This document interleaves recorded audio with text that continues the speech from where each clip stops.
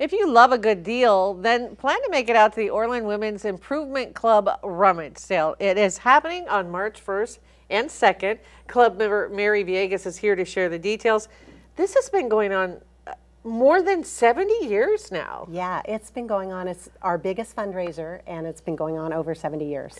So, what Yeah. can people expect if they've if they've never made it out for this event? Okay, so it's about 15,000 square feet. It's in the Witsit Cook building at um, the Glenn County Fairgrounds, and you can find anything from table linens to jewelry to appliances to dishes to clothing to Christmas and Halloween and fabric, anything. It sounds like you should allow Yeah. a good amount of time to go through everything because you get a lot of very generous donations. Yeah, we do, and even furniture and things like that. So it, it's pretty broad.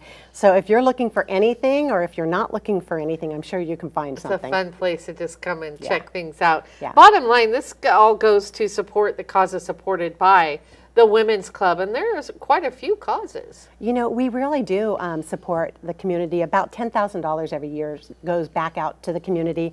We do um, scholarships for grads and seal bearers and the um, Orland Fire Department, the Glenn County Sheriff's Posse, um, the Historical Society, Food Pantry, um, the schools, the Kiwanis Halloween Party. You know, you name it, we're part of it.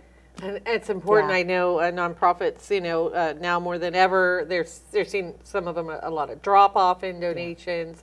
Times are tough, so again, a fun way to show your support and maybe come away with a good deal or two as well. Again, Friday and Saturday, March first and second. Is there any charge to attend? No, it's free to attend. Okay. So yeah, just come and, and do your shopping and it's from nine to five Saturday and then Sunday or I'm sorry, Friday, it's nine to five. Okay. And then Saturday it goes till three o'clock, nine to three. now. Are you So- still accepting donations? Tuesday. Okay. You can drop things off Tuesday, nine to five. Okay, So, next yes. Tuesday, if you've got Yep. something you want to donate, just bring it to the fairgrounds, to the Witset uh, Cook building. Cook building. Yeah. It won't be hard to find. Just No. look for the activity at the fairgrounds going on that Yeah, day. there'll be uh, people. Well, I want to thank you so much for being on the show today. I hope it's a huge success. Me too. Thank, you. Thank you. And we do have a link to the club's Facebook page where you can view details. Just head to our website and click on news and then click on news links.